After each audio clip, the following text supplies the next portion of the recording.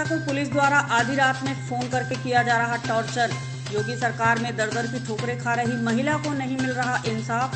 जी हाँ, आपने सही सुना, हम बात कर रहे हैं सीमा की, जिसके विवेक के साथ प्रेम संबंध थे, जो कि प्रेम संबंध के चलते ही सीमा को शादी का झांसा देता रहा और उसके साथ शारीरिक संबंध बनाता रहा, लेकिन आज तक उसने पीड़िता के साथ विवाह नहीं किया। पीड़िता की तहरीर पर लगभग एक माह पूर्व थाना सिविल लाइन में मुकदमा दर्ज कर लिया है।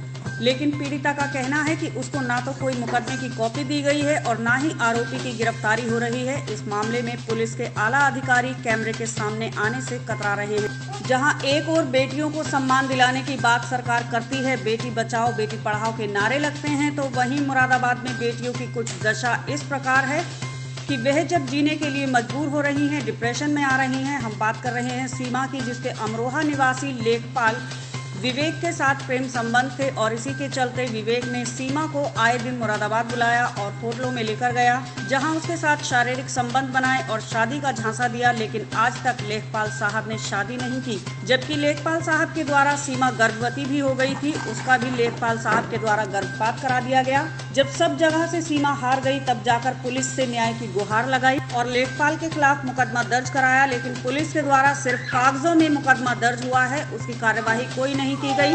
विवेक को बुलाया गया और ना ही पूछताछ की गई और ना ही अरेस्ट किया। जब पीड़िता से बात की गई, तब उन्होंने बताया कि मुकदमा लिखवाने के बाद से पुलिस के द्वारा पीड़िता को फ़ोन करके टॉर्चर किया जाता है। कभी थाने की पुलिसकर्मी आधी रात में फ़ोन करते हैं तो कभी सुबह फ़ोन कर करके पीड़िता के दिमागी तौर पर टॉर्चर किया जा रहा है। और विवेक ने मुझे अपने घर लाया, लेकिन शादी फिर भी नहीं की और बाद में मेरे साथ मारपीट की और मुझे घर से बाहर निकाल दिया। सुनने में आ रहा है कि विवेक ने किसी और से कोर्ट मैरिज कर ली है। मैं अब दर दर की ठोकरें खा रही हूँ। मुझे न्याय चाहिए। और एडीजी साहब से भी तीन बार न्याय की गुहार लगा चुकी हूँ लेकिन कहीं से कुछ उम्मीद नहीं दिख रही। अब देखना ये होगा कि क्या पीड़िता को न्याय मिलता है या नहीं या फिर ऐसे ही कोई और दूसरा लेखपाल किसी महिला की ज़िंदगी से खेल जाएगा। हाँ क्या था पूरा मामला सीमा जी बताइए। जी विवेक कुमार जो जिला अमरोहा तहसील हसनपुर में लेखपाल हैं। इन्हों और इनके पिता जिला जीत प्रसाद चौबीसवीं वाहिनी अ, जिला मुरादाबाद। चौबीस बटालियन में रहते हैं लोग। इनके पिता चौबीसवीं वाहिनी पीएससी में कुक के पद पे तैनात हैं। इन्हों विवेक ने मुझे अपनी चिकनी चुपड़ी बातों में पहले तो फंसाया मीठी मीठी बातों में। और इन्होंने शादी का झांसा दे करके मुझे मुरादाबाद दो बार बुलाया। मुरादाबाद दो बार इन्होंने बुलाया और फिर होटल में साथ लेके रहे। और पति पत्नी के संबंध बनाए और कहा कि ये मुझसे कोर्ट मैरिज भी करेंगे, शादी करेंगे। और शादी का झांसा दे के उन्होंने सारे काम किए और इसके बाद फिर इन्होंने शादी से इनकार कर दिया। मैंने कोतवाली घोसी में इसकी कंप्लेन की तो पुलिस वालों ने इन्हें गिरफ़्तार किया और रात भर लॉकअप में रखा। नौकरी खोने के डर से इन्होंने मेरे साथ समझौता करके मुझे मुरादाबाद लेके आए कि ये मुरादाबाद ला करके मेरे साथ शादी करेंगे और मुझे अपने साथ रखेंगे। यहाँ लाने के बाद इन्होंने मुझे पत, एक पत्नी की तरह मुझे अपने साथ रखा। मेरे से तो नहीं नहीं शादी नहीं हुई थी। शादी इन्होंने कहा था शादी करेंगे शादी करेंगे। शादी हुई जी नहीं। मतलब संबंध बना के रखते जी हाँ। आगे बताइए। इन्होंने पति पत्नी की तरह रखा पति पत्नी की तरह रखा मेरे साथ सब कुछ किया। इसके बाद प्रेग्नेंट भी हुई। प्रेग्नेंट होने के बाद इन्होंने बच्चे का दवाई खिला करके बच्चा भी मार दिया। फिर इन्होंने मारपीट के घर से भी निकाल दिया। मुझे मैं दर दर की ठोकरें खा रही हूँ यहाँ वहाँ। मैं घर से भी बेदखल हूँ। घर से भी मेरा कोई वास्ता नहीं है। घर से भी निकाली हुई हूँ। मेरा रहने का भी कोई ठिकाना नहीं है। मैं फुटपाथ पे भटक रही हूँ और फिर और सुनने में आया है कि इन्होंने चोरी से शादी भी कर ली है। कोर्ट मैरिज से। और मेरी मैंने एडीजी साहब के यहाँ तीन बार एप्लीकेशन दिया। दो बार आदेश हुए, लेकिन इन्होंने एफआईआर दर्ज नहीं की। तीसरी बार में इन्होंने एफआईआर लिखी। तीस जुलाई को एफआईआर दर्ज हुई है। तीस जुलाई 2020 गिरफ्तारी आज तक नहीं हुई। मेरे पास एफआईआर जिस दिन दर्ज हुई थी, रात को ग्यारह बारह बजे के आसपास फ़ोन आते थे पुलिस वालों के।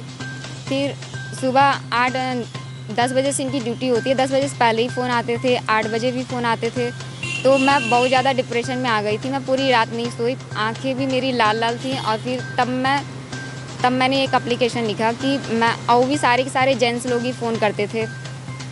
तो पुलिस वाले डिप्रेशन में पहले से थी, इसके बाद फिर ये पुलिस वाले तंग करते थे अलग से, अलग, बिना किसी मतलब कि बिना किसी टाइमिंग के। ना रात का, रात की भी टाइमिंग गलत, दिन की भी टाइमिंग गलत। जब वो मुझे फ़ोन करते थे, किसी भी महिला पुलिस का फ़ोन नहीं आया मुझे। जिसके बारे में मैंने एप्लीकेशन भी दिया था एसएसपी के यहाँ। और विवेक की गिरफ्तारी आज तक नहीं हुई। जब भी मैं, मैंने थाने के पचासों चक्कर लगाए, लेकिन हर बार जो विवेचक हैं, दरोगा, ये मुझे बातों को घुमा फिरा के मुझे वापस लौटा देते हैं।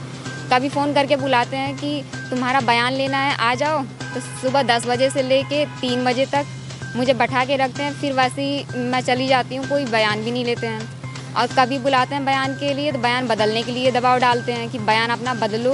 तुम कहो कि तुम्हें हसनपुर में लेके था। जब जब मैं हसनपुर में नहीं थी तो मैं क्यों हसनपुर का नाम लूँ? और फिर मैंने फ़ोन का कोई भी, कह रहे हैं कि तुम्हारी सीडीआर में लोकेशन नहीं आ रही है। जब सीडीआर में लोकेशन, मैंने फ़ोन का इस्तेमाल किया ही नहीं है तो लोकेशन कहाँ से आएगी सीडीआर में? मेरे फ़ोन को सिर्फ़ विवेक ने ही इस्तेमाल किया है। कितनी परेशानी का सामना उठाना भैया और रातों को छः बजे तक आपके तो मतलब पुलिस वालों की खोला आते हैं। ग्यारह से बारह बजे फ़ोन आते हैं। ये कौन सी टाइमिंग है? किसी पुलिस वाले का फ़ोन करने का ये कौन सा तरीका है? और अगर आता भी तो कोई किसी भी महिला का फ़ोन आया नहीं किसी महिला पुलिस का। और क्योंकि मैं खुद एक अकेली लड़की हूँ। अब क्या कदम उठाएँगे? यदि कार्रवाई नहीं होती तो। मेरे पास सिर्फ़ आखिरी रास्ता है या तो मैं आत्महत्या कर लूँ मेरा वैसे भी सब कुछ बर्बाद हो चुका है। आत्महत्या करने के सिवा मेरे पास कोई और आखिरी ऑप्शन नहीं है आखिरी ऑप्शन यही है। हाँ है इनके पिता जिला जीत प्रसाद और विवेक कुमार। जी हाँ पुलिस भी पूरी की पूरी भागीदार होगी क्योंकि पुलिस ने अगर अपनी ड्यूटी निभाई होती या सही तरीके से काम किया होता तो मेरी पूरी लाइफ इतनी जो बर्बाद नहीं हुई होती। जैसा मैंने, जैसा कि खुद, दरोगा ने खुद ही बोला है कि लड़की की तो शादी हो चुकी है, तुम्हारी एफआईआर दर्ज होने से पहले। तो जब मैं फरवरी से इतने चक्कर मार रही थी तो मेरी एफआईआर दर्ज क्यों नहीं की गई?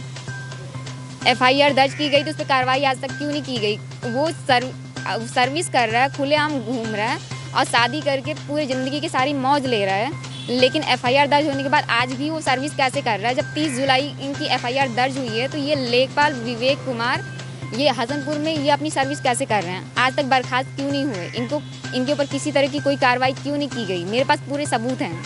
ये सबूत मैंने सबको दिखाए हैं। इसके बावजूद भी किसी तरह का कोई एक्शन क्यों नहीं किसी ने लिया?